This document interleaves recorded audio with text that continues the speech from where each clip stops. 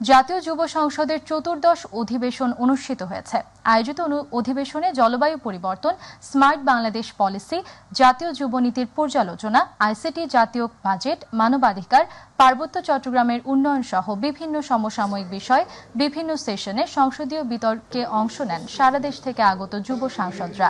জাতীয় পুরস্কার বিজয়ী যুব সংগঠন Dhrubotara Youth Development Foundation Chattogram নগরীর ইন্টারন্যাশনাল কনভেনশন সেন্টারে আয়োজনে ভার্চুয়ালি সংযুক্ত হয়ে প্রধান অতিথির বক্তব্য রাখেন শিক্ষামন্ত্রী মহিবুল হাসান চৌধুরী নফেল মূল পর্যায় পর্যন্ত যেন মানুষ এখানে আজকের এই অনুষ্ঠানে।